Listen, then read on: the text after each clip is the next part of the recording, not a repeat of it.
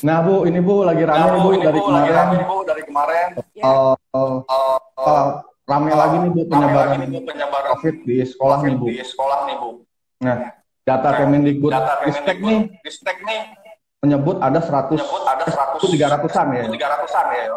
yang yang jadi penyebaran COVID gitu. penyebaran COVID gitu. Nah, ini Nah, data ini Kemendikbud ini Kemendikbud eh, KPAI ini ini Apakah ini gimana Bu? Apakah datanya benar atau tanya benar atau gimana nih? Ya, pertama sebenarnya kami ya udah secara otomatis menyesalkan ya ini terjadi karena sebenarnya pada tanggal 30 Agustus tahun 2021 kami dalam rapat koordinasi nasional itu sudah menyampaikan sudah menyampaikan sejumlah rekomendasi agar tidak dulu membuka sekolah kecuali ada apa enam rekomendasi kami itu eh, dipenuhi.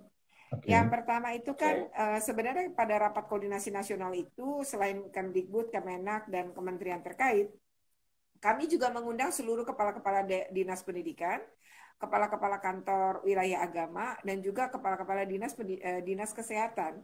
Jadi se-Indonesia. Nah, di dalam rapat eh, rapat koordinasi da- secara daring itu, kami Ya. sebenarnya sudah menyampaikan hasil pengawasan. Nah, hasil pengawasan kami itu pertama, memang kami mengapresiasi bahwa telah terjadi perubahan dalam penyiapan. Jadi pen- sekolah tuh jauh lebih siap secara infrastruktur.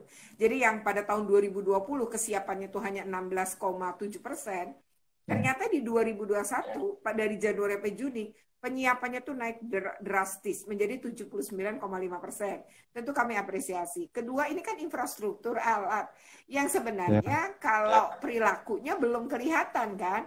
Nah, pada saat itu kami meminta supaya protokol kesehatan itu disosialisasi dan jangan membuka SD dan TK. Karena membuka SD dan Oh. TK pertama Oh. belum divaksin. Jadi kami juga di dalam rapat koordinasi itu mendorong yang dibuka yang udah yang 12 sampai 17 tahun itu memang mereka sudah menerima vaksinasi. Artinya mereka jauh lebih aman. Yang ke, eh, berikutnya kami merekomendasikan karena tim gugus tugas COVID-19 juga tidak menyebut positivity rate untuk buka Hmm. sekolah, tapi menyebut PPKM kan ya atau eh, zona gitu ya.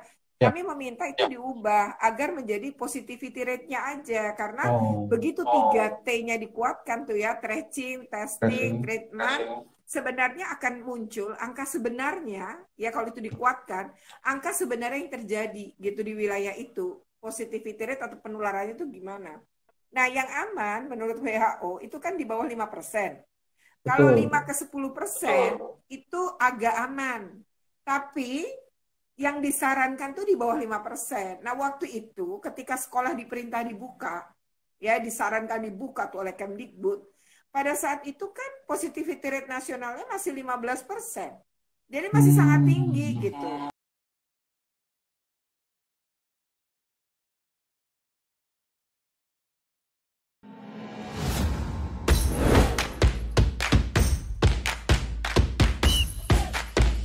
Ayam kalau diaduk-aduk jadi cair. Seriously.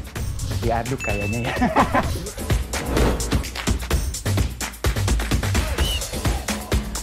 Mau perlu luar negeri gimana ya? Ini demi kemajuan bangsa Indonesia.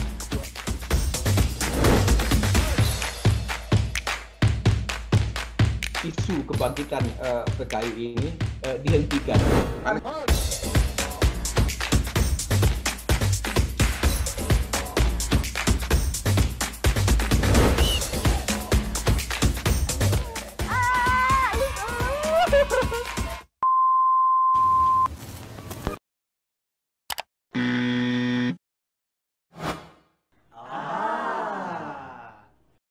Medcom.id, a part of Media Group News.